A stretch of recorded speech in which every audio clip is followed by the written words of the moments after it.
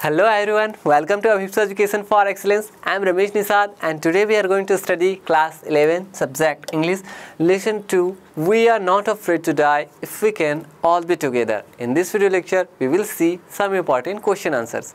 So let's start. Question number 1 What difference did you notice between the reaction of the adults and the children reacted when faced with danger? So so, यहाँ पे कहा जा रहा है कि जो adult थे यानी जो बड़े थे और जो बच्चे थे यानी बड़े और बच्चों की क्या प्रतिक्रिया थी? इनकी प्रतिक्रियाओं में क्या विभिन्नता थी? भिन्नता थी जब उन्होंने फेस किया डेंजर से जब उन्होंने खतरों से इनका सामना हुआ तब दोनों के बीच में क्या क्या प्रतिक्रिया थी? सो बड़ों के बीच में क्या प्रतिक्रिया थी? बड़े ने जो एडल्ट थे उन्होंने कैसे प्रतिक्रिया व्यक्त किए so the adult started making preparations to overcome the dangers facing them. To face the apprehended dangers in the southern Indian Ocean, the captain took two crewmen to help them. When caught in the gale and the high waves, they slowed down Wave Walker to protect it. Though badly injured, ribs and teeth broken, the captain hung on the whale and so did Mary. They didn't lose courage. The crewmen were cheerful and optimistic under the direst stress and kept pumping throughout. The captain did timely calculations, repairs, connecting spare pumps in the mouth of death. So so, यहाँ पे कहा जा रहा है कि जो adult थे जो बड़े थे उन्होंने एक तरह से प्रिपरेशन की थी ताकि वो समस्याओं पर ओवरकम कर सके, उन पर विजय हासिल कर सके। पहला उन्होंने क्या किया कि जो, जब ये लोग ईस्ट की ओर बढ़े, तब उन्होंने क्या किया, इन्होंने दो क्रूमैन यानी दो जहाज़ कर्मी को साथ में लेकर के चले, ताकि आगे जो समस्या होगी, इन समस्या में ये लोग सहायता करेंगे। अब आगे जो है, जो समस्या आई जो वेव्स आई वेव्स की वजह से जो जहाज़ है, उनमें काफ़ी क्षति हुई। और उस समय ये स्थिति हो गई थी कि जो कैप्टन है, वो सिप के बाहर चले जाते हैं मीन्स गिर जाते हैं। एंड उन्हें काफ़ी चोटें आती हैं, उनका जो सिर है, उनमें तकलीफ़ हो जाती है उनमें चोट लग जाती है। उनका जो रिब है, रिब की जो हड्डी है, वो टूट जाती है, उनका जो माउथ है मीन्स उसकी, उनका जो दांत है, दांत टूट जाता है, उनका जो माउथ है, वो खून से भर जाता है। और इसके बावजूद भी वो हार नहीं मानते, वो लगातार लगे रहते हैं। एक तरह से वो कोशिश करते ही रहते हैं, जो क्रू मैन है, वो भी पागलों की तरह वो पानी को बाहर फेंक रहे होते हैं, पंपिंग कर रहे होते हैं। और अंत में जो है, उनको सफलता मिल ही जाती है। और उनकी जो वाइफ रहती है, वो भी लगी रहती है, जो मैरी है, वो भी। और इस तरह से वो पंपिंग करते रहते हैं और रिपेयर भी करते हैं। सो इस तरह से जो बड़े लोग थे एडल्ट थे, उनकी प्रतिक्रिया थी। अब हम देखेंगे बच्चों की क्या प्रतिक्रिया थी। The children didn't become worry worry means चिंतित होना। The seven years old Susan had a big pump up her eyes. She had a deep cut on her arm, but till the end, she didn't like to worry her parents. She knew they were doing everything to protect them. She drew their caricatures to give them a timely laugh and make them stress free. Above all, the six year old boy Jonathan told his father that he was not afraid to die. Children's courage and patience was superb when faced with dangers. It boosted up the morale of the adults. so, यहाँ पे बताया जा रहा है कि जो बच्चे थे उन्होंने भी अपने अंदर जो है पेशेंस बना के रखे हुए थे इट मीन्स वो कभी चिंता व्यक्त नहीं की कभी ये नहीं दिखाया कि वो काफ़ी डरे हुए हैं या चिंतित है या परेशान है जो seven and seven year old जो लड़की थी जिसका नाम था सुजैन वो भी काफ़ी हिम्मत वाली थी, क्योंकि उन्हें चोट लगी हुई थी, उनके हाथ में चोट लगी हुई थी, उनका जो आँख का, जो ऊपर साइड है, उसमें सूजन था। उसके बावजूद भी वो चिंता नहीं की, और न ही वो अपने पेरेंट्स के पास जा कर के शिकायत की कि मुझे ये प्रॉब्लम है, ये समस्या है। वो हमेशा अपने पेरेंट्स को इस तरह से वो देख रही थी कि उनके जो पेरेंट्स हैं, वो उन्हीं लोगों के लिए मदद मीन्स लगे हुए हैं। यानी वो प्रोटेक्ट करने के लिए, हम सबको प्रोटेक्ट करने के लिए प्रयासरत है। सो ऐसा सोच करके वो कभी अपने पेरेंट्स को शिकायत नहीं करती है, ना उनके पास अपनी चिंता व्यक्त करती है। और दूसरी बात यह है कि जो सिक्स ईयर ओल्ड जो लड़का है जिसका नाम है जोनाथन, वो भी कहता है कि उसे मृत्यु से डर नहीं लगता है और वो भी इस तरह से चिंता व्यक्त नहीं करता, अपने पेरेंट्स के साथ लगे रहते हैं। एंड इस तरह से हम देख सकते हैं कि जो बच्चों का जो करेज है, उनका जो पेशेंस है, उनका जो साहस है वो काफ़ी सराहनीय है और ये एक तरह से उन सब के लिए, उनके एडल्ट के लिए एक तरह से मॉरल था। और इस तरह से जो बच्चों की जो प्रतिक्रिया थी, इस तरह से थी। नेक्स्ट क्वेश्चन देखेंगे। How does the story suggest that optimism helps to endure the direst stress यहाँ पे कहा जा रहा है कि इस कैसे, इस ये जो स्टोरी है, वो कैसे सलाह देती है कि ऑप्टिमिज्म जो आशावादी है वो भयानक तनाव में, यानी डायरेस्ट स्ट्रेस में, वो कैसे हेल्प करती है? यानी जो ऑप्टिमिज्म है, आशावादी है, वो कैसे भयानक तनाव में हमारी मदद करती है? सो आंसर है before the wave storm struck wave walker the endless enormous seas rolled towards them the captain being hopeful of the safety of the ship slowed down by dropping the storm jeep. He fastened tightly heavy mooring rope. They did their life raft drill. They attached the lifelines, wore all skins and life jackets so were ready for facing the worst. There was water and water everywhere on the ship. The captain made timely repairs because he realized that they would surely sink if he could not. So so, यहाँ पे एक तरह से सलाह दी जा रही story के माध्यम से कि जो आशावादी जो विचार है वो हमें बनाए रखनी चाहिए। अगर भयानक तनाव है भयानक सिचुएशन है इसके बावजूद भी हमें आशावादी विचार बनाए रखनी चाहिए। सो so, इस स्टोरी में हम देख सकते हैं कि वेव स्टॉम से आने से पहले जो वेव वॉकर था वो ठीक था। वेव वॉकर का जो कंडीशन था वो ठीक था। और वेव वॉकर को सुरक्षित रखने के लिए इन्होंने ढेर सारी तैयारियाँ की थी।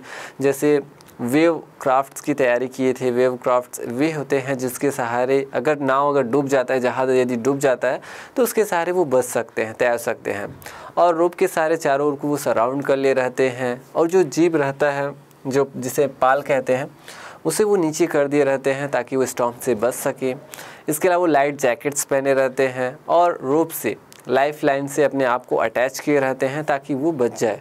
और इस तरह से ढेर सारी तैयारियाँ किए रहते हैं। इसके बावजूद भी वो जो समस्या है, वो आ ही जाती है और चारों तरफ़ पानी ही पानी दिखाई देने लग जाते हैं। आगे क्या होता है? The ships men reef frames were damaged and the whole section of the starboard frame hung to the cupboard partitions. It wouldn't hold together long enough for us to reach Australia. So, so the captain hoped to find any one of the two islands. Of course, they succeeded even riding out another storm and landed on the island Lee Amsterdam. Even the little Sue was optimistic that she would tell about the deep cut in her arm to her parents after they all were saved. The crewmen Larry and Hub were cheerful and optimistic under the most horrible pressure and for 36 hours continuously pumped out water. Last but not the least, a six-year-old boy was still not afraid to die. So यहाँ पे बताया जा रहा है कि आगे क्या होता है कि जो वेव आती है, वेव की वजह से जो वेव वॉकर है, यानी जो जहाज़ है, उसमें काफ़ी डिस्ट्रॉय हो जाता है मीन्स उसका जो डेस्क है, वो टूट जाता है। ढेर सारी समस्या आती है और इसके बावजूद वो एक तरह से खतरे में रहते हैं, भयानक तनाव में आ जाते हैं कि हम कैसे बचेंगे। जो पानी होता है, वो जहाज़ में काफ़ी भर गया रहता है। बट वो हार नहीं मानती, वो लगे रहते हैं, लगे रहते हैं और आशावादी बने रहते हैं कि वो अंत में कैसे भी करके उस जो द्वीप है, उसको ढूंढ लेंगे। मीन्स जो ली एम्स्टर्डम जो आइसलैंड है, उसे वो ढूंढ रहे होते हैं। बट कुछ समय के लिए उन्हें ये लगता है कि वो शायद ही ढूंढ पाएँगे बट वो कैसे भी करके एक आशावादी विचार रखे रहते हैं और वो ढूँढने में सक्सेस हो ही जाते हैं। उसकी जो बेटी रहती है सुजैन वो भी काफ़ी आशावादी रहती है। वो अपनी जो प्रॉब्लम्स है, उस प्रॉब्लम को नहीं बताती है। वो जब सारी चीज़ें शांत हो जाती है, तब वो दिखाती है कि उनके अंदर, उनके जो, उनका जो हाथ है, उसमें कट लगा रहता है। और इसके अलावा, उसके जो ऊपर जो आँख का जो ऊपर भाग है, उसमें सूजन रहती है। सो इस तरह से वो भी आशावादी विचार वाली रहती है उसका जो बेटा है, वो कैसे भी रहे सिक्स ईयर ओल्ड एक लड़का है और वो भी बताता है कि मैं मृत्यु से मुझे भय नहीं लगता है मैं मृत्यु से नहीं डरता हूँ। सो so, इस तरह से हम देख सकते हैं कि हम यदि आशावादी विचार रखते हैं तो हम अंत में अपनी समस्याओं से मुक्ति पा सकते हैं। यानी भयंकर अगर तनाव है तो उस तनाव से स्ट्रेस से हम आ, उबर सकते हैं। सो so, ये बताया गया है। नेक्स्ट क्वेश्चन है। What lessons do we learn from such hazardous experiences when we are face to face with death यहाँ पे कहा जा रहा है कि इस लेसन से हमें क्या शिक्षा मिलती है? मीन्स इस तरह की हैजर्डस एक्सपीरियंस इस तरह की भयानक अनुभव से हमें क्या शिक्षा मिलती है जब हम मृत्यु के आमने सामने हो फेस टू फेस हो? सो so, इस अनुभव से हमें क्या शिक्षा मिलती है? Answer It is a team effort in the sea storm that helps fight the seas successfully. Everyone during the sea storm must keep his moral high and boost us others who are fighting the seas in the face of the death. Once during the wave storm, the captain admitted his approaching death below the waves he was losing consciousness. Unexpectedly, he got a new hope of life. So we should always have hope against no hope at all when we are face to face with death.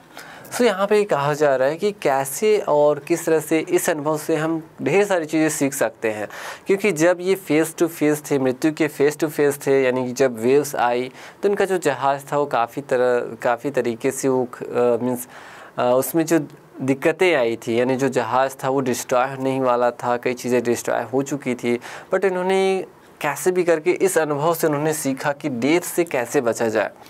और जो captain रहता है, वो unconscious हो जाते हैं, बेहोश होने वाले रहते हैं बट वो कैसे भी करके प्रयास करते हैं, कोशिश करते हैं, और लगे रहते हैं कि जहाज़ से पानी को कैसे पंप किया जाए, बाहर फेंका जाए, और इस तरह से वो लगे रहते हैं, एक आशावादी विचार के साथ। आगे क्या होता है दो the wires were sinking the decks were smashed they were full of water yet by staying at the whale doing thermal repairs pumps replacement continuous water pumping out of the cars boosting up by the little children they successfully overcome the horrible storms therefore such hazardous experience teach us to always be optimistic and with courage and patience do our best with all our strength. We shall surely overcome from all the storms of life. We shall succeed. So so, यहाँ पे बताया जा रहा है कि जो वोजर्स थे जो समुद्र यात्री थे वो डूब रहे होते हैं और उनकी जो, उनका जो जहाज़ है, सीप है, वो बुरी तरह से डिस्ट्रॉय हो जाता है बट उन्होंने कैसे भी करके प्रयास किया, लगातार वो लगे रहे कि वो कैसे पंप कर सके, यानी पानी को बाहर फेंक सके, जहाज़ से निकाल सके, और जहाज़ को वो जल्दी से जल्दी रिपेयर करने में लगे हुए थे। और इस तरह से उनका जो अनुभव था, वो काफ़ी आकर्षक था। मीन्स वो जो अनुभव है, वो काफ़ी मददगार अनुभव है। मीन्स इस तरह के भयानक तनाव में, इस तरह के भयानक संकट में उन्होंने काफ़ी प्रयास किए और वो सारे लगे हुए थे, यानी जो टीम थे, इनका इनका जो ग्रुप था, वो सब लगे हुए थे, जो एडल्ट थे, जो बड़े थे और जो बच्चे थे चिल्ड्रन थे, वो सब लगे हुए थे। सो इस तरह के जो भयानक एक्सपीरियंस है हैजर्डस एक्सपीरियंस है, वो वो हमें सिखाते हैं कि हमें हमेशा पेशेंस रखना चाहिए। हमें हमेशा पेशेंस रखना चाहिए और पेशेंस के साथ साथ करेज हमें साहस भी रखना चाहिए।